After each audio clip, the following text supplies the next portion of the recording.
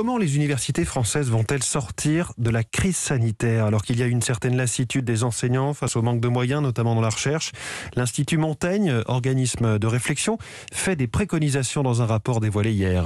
Et l'une de ces idées va faire du bruit, hein, Virginie Riva, puisqu'il s'agit d'augmenter les frais d'inscription. Oui, passer de 170 à 900 euros pour s'inscrire en licence et de 243 à 1200 euros en master. Une proposition audacieuse. L'objectif, c'est d'augmenter les entrées financières des universités. Et pour compenser ce surcoût pour les étudiants, l'Institut propose de mettre en place des prêts innovants que les étudiants rembourseraient une fois entrés dans la vie active et selon leurs revenus. Autre préconisation, pour les universités qui le souhaitent, l'Institut Montaigne suggère qu'elles gèrent seules leur patrimoine immobilier, ce qui n'est pas le cas actuellement de ce rapport est clairement à chercher du côté anglo-saxon. Les présidents d'université doivent devenir, je cite, des entrepreneurs institutionnels, récupérer les prérogatives des CRUS et gérer seuls l'ensemble des aides sociales.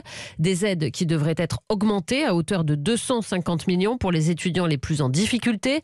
L'État n'est pas pour autant appelé à se désengager. Selon l'Institut, la France devrait au contraire augmenter ses efforts et consacrer 5% de son PIB à l'enseignement supérieur et à la recherche. C'est seulement 3% et demi actuellement. Virginie Riva.